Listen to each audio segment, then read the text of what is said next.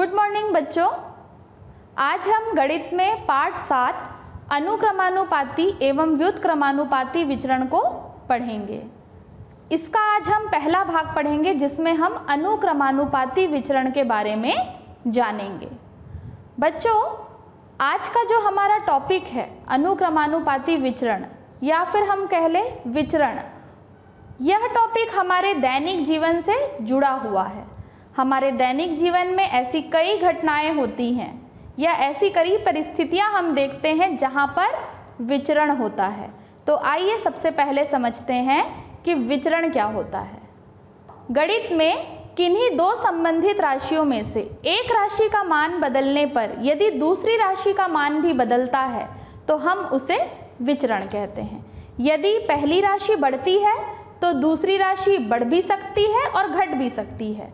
पर जब पहली राशि बदल रही है और दूसरी राशि में भी परिवर्तन आ रहा है तो गणित में हम उसे विचरण कहते हैं।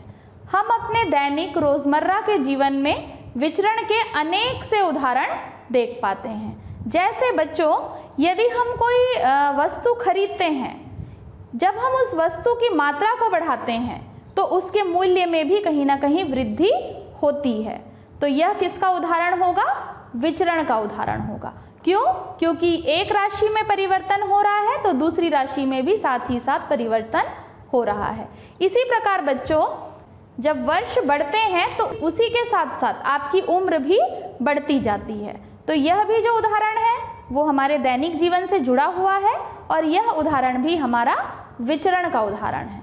इसी प्रकार बच्चों, यदि कोई किसान खेती करता है, उसके पास कोई निश्चित मात्रा में ज़मीन है यदि ज़मीन की मात्रा को हम बढ़ाएँगे तो निश्चित ही उसमें जो फ़सल पैदा होती है, वो भी कहीं ना कहीं बढ़ेगी। तो ये सभी उदाहरण हम अपने दैनिक जीवन में देखते रहते हैं और ये सभी उदाहरण गणित में विचरण कहलाते हैं। बच्चों, विचरण क्या होता है ये तो आप समझ गए। अब विचरण के ही दो भाग होते हैं। एक होता है अनुक्रमानुपाती विचरण और एक होता है व्युत्क्रमानुपाती विचरण। तो बच्चों, सबसे पहले अनुक्रमानुपाती विचरण होता क्या है?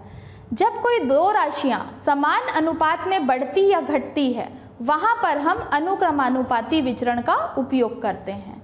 अर्थात पहली राशि बढ़ेगी तो दूसरी राशि भी बढ़ेगी और पहली राशि घटेगी तो दूसरी राशि भी घटेगी। इसे हम कहते हैं अनुक्रमानुपाती विचरण। यदि बच्चों, कोई दो राशि है, x और y, और इनके बीच अनुक्रमानुपाती विचरण हो रहा है तो हम इसे चिन्ह के माध्यम से इस प्रकार से प्रदर्शित करेंगे। यहाँ आप देख सकते हैं, x एल्फा y यहाँ पर अनुक्रमानुपाती विचरण का जो चिन्ह है, उसे हम एल्फा से दर्शाते हैं। बच्चों, अब हम अनुक्रमानुपाती विचरण के कुछ उदाहरण जो हम अपने दैनिक जीवन में रोज देखते हैं, उन उदाहरणों को हम परिभाषा जो आपने समझी है, उससे जोड़ते हुए हम उन उदाहरणों को देखते हैं। जैसे बच्चों, वर्षा का पानी, जितना अधिक वर्षा का पानी गिरेगा, उतना ही अधिक जो भी हमारे पानी के स्रोत हैं, जैसे नदियाँ, तालाब, उतने ही अधिक मात्रा में वो भरते हैं। तो यहाँ पर वर्षा का जल और नदियों का जो स्तर है, वो दोनों ही कैसे हैं? अनुक्रमानुपाती विचरण में है। क्योंकि एक बढ़ रहा है तो दूसरा भी बढ़ रहा है और एक घट रहा है तो दूसरा भी घट रहा है। इसी प्रकार बच्चों, आप घर में जब हमारे जो रद्दी कागज़ होते हैं, पुरानी कॉपियाँ होती है, उसे हम रद्दी वाले को बेचते हैं, तब वो जो मशीन लेके आते हैं रद्दी वाले, आपने उसमें देखे होगा, उस भार मशीन में जितना अधिक हम कागज़ उसमें डालते जाएँगे, भार उतना ही अधिक उसका जो वज़न है वो बढ़ता जाएगा। तो यहाँ पर कागज़ की मात्रा और मशीन में जो वज़न है, वो एक दूसरे के क्या हैं? अनुक्रमानुपाती हैं। ये दोनों ही राशियाँ अनुक्रमानुपाती विचरण में हैं। इसी प्रकार बच्चों आप कई बार अपने जो बचे हुए पैसे हैं, वो गुल्लक में जमा करते होंगे। जितनी ज़्यादा सिक्के हम गुल्लक में डालेंगे, हमारा गुल्लक जो है, वो उतनी ही जल्दी भरता है। तो ये भी दोनों राशियाँ किसका उदाहरण है? अनुक्रमानुपाती विचरण के उदाहरण हैं। तो आप देख सकते हैं बच्चों की ऐसे ही हम अपने दैनिक जीवन में अनुक्रमानुपाती विचरण के अनेक उदाहरण देख पाते हैं। बच्चों, अब अनुक्रमानुपाती विचरण को समझने के बाद हमें एक और नया शब्द समझने की ज़रूरत है, वो है स्थिरांक। बच्चों, जिन दो चरों में अनुक्रमानुपाती विचरण का संबंध होता है, उनके बीच का जो अनुपात होता है, वो सदैव समान होता है, एक समान होता है। और वही जो समान अनुपात है, उसे हम क्या कहते हैं? स्थिरांक कहते हैं।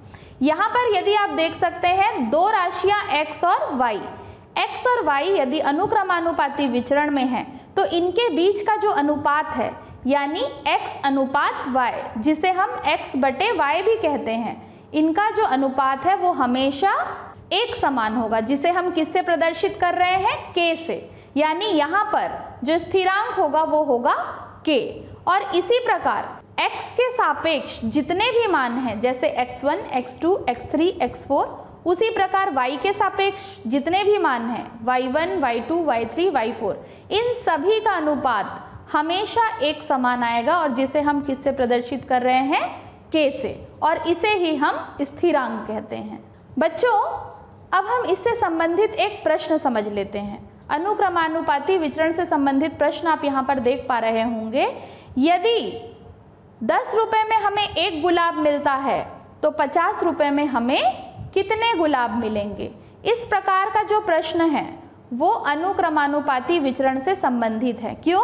क्योंकि पैसा, पैसे का मान यदि बढ़ रहा है तो गुलाबों की संख्या भी वहाँ पर बढ़ रही है। यानी ये दोनों क्या है? एक दूसरे के अनुक्रमानुपाती है। तो आइए हम देखते हैं कि इसे हम हल कैसे करेंगे। दस रुपये में बच्चों एक गुलाब मिलता है तो पचास रुपये में हमें कितने गुलाब मिलेंगे? जो पैसा है जो मान रुपये में दिया गया है, उसे हम x के सापेक्ष मान लेते हैं, यानी x1 बराबर दस x2 बराबर पचास। इसी प्रकार बच्चों, गुलाबों की संख्या जो है, उसे हम y से प्रदर्शित करते हैं। y के सापेक्ष जितने भी मान हैं, यानी एक, जो एक गुलाब है, वो y1 कहलाएगा और पचास रुपये में कितने गुलाब आएँगे, उसको हम y2 से यहाँ पर प्रदर्शित कर रहे हैं। क्योंकि ये दोनों ही राशियाँ अनुक्रमानुपाती विचरण के अंतर्गत आते हैं, इसलिए इनका जो अनुपात है वो सदैव एक समान होगा। यानी x1 बटे y1 बराबर x2 बटे y2 बराबर k होगा। यानी k जो है वो स्थिरांक है। x1 का मान जब हम वहाँ पर भरेंगे, x1 का मान है 10 y1 का मान है 1 इसी प्रकार x2 की जगह पे हम 50 भरेंगे और y2 की जगह पे हम x मान लेते हैं। अब हम यदि हम यहाँ तिरक गुणा करते हैं तो 10 का गुणा x के साथ हो जाएगा और 50 का गुणा 1 के साथ हो जाएगा। इसे हम हल करेंगे, x का मान हम निकालेंगे। 50 का गुणा 1 से करने पे 50 आता है और x के साथ जो गुणा में है 10 वो जब पक्षांतर होगा तो वो भाग में चला जाएगा। तो इस प्रकार हमें प्राप्त होगा 50 बटे दस यानी कि 5 यानी हमें पचास रुपये में कितने गुलाब मिल जाएँगे? पाँच गुलाब। तो इस प्रकार से अनुक्रमानुपाती विचरण से संबंधित प्रश्न हम हल कर सकते हैं। आइए बच्चों, इससे संबंधित एक और महत्वपूर्ण प्रश्न हम यहाँ पर देखते हैं।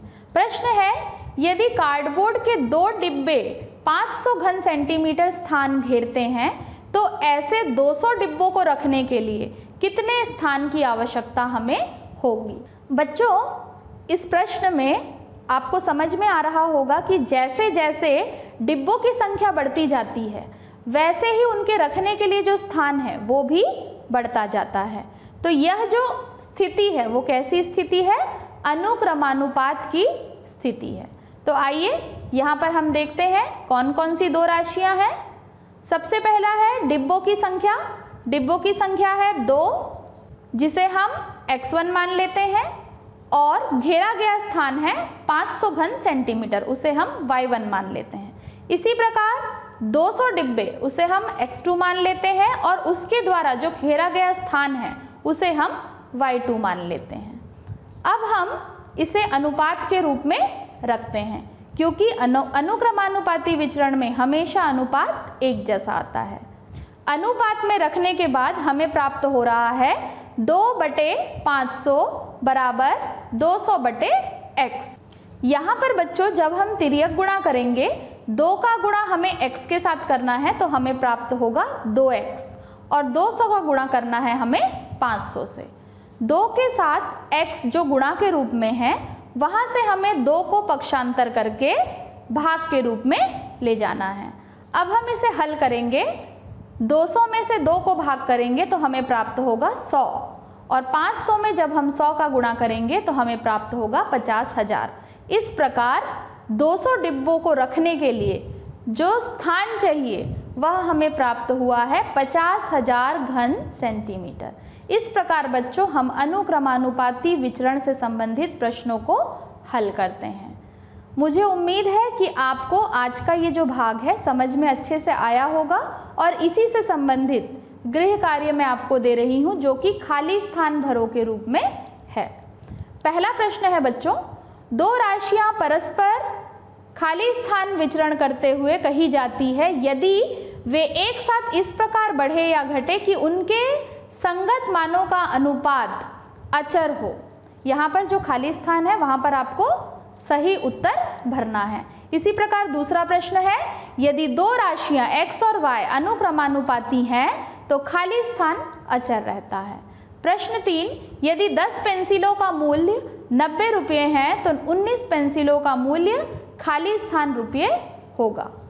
चौथा प्रश्न है, एक सम चतुर्भुज की भुजा और उसका परिमाप खाली स्थान विचरण में होंगे।